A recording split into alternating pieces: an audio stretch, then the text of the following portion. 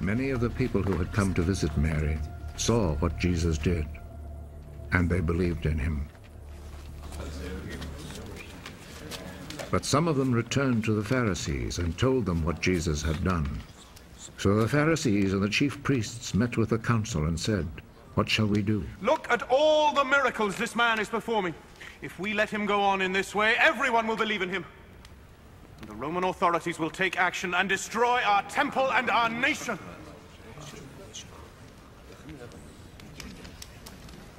One of them, named Caiaphas, who was high priest that year, said, What fools you are! Don't you realize that it is better for you to have let one man die for the people instead of having the whole nation destroyed? Actually, he did not say this of his own accord. Rather, as he was high priest that year, he was prophesying that Jesus was going to die for the Jewish people, and not only for them, but also to bring together into one body all the scattered people of God.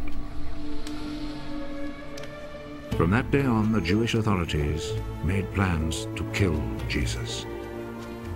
So Jesus did not travel openly in Judea, but left and went to a place near the desert, to a town named Ephraim, where he stayed with his disciples. The time for the Passover festival was near, and many people went up from the country to Jerusalem to perform the ritual of purification before the festival. They were looking for Jesus, and as they gathered in the temple, they asked one another, What do you think? Surely he will not come to the festival, will he?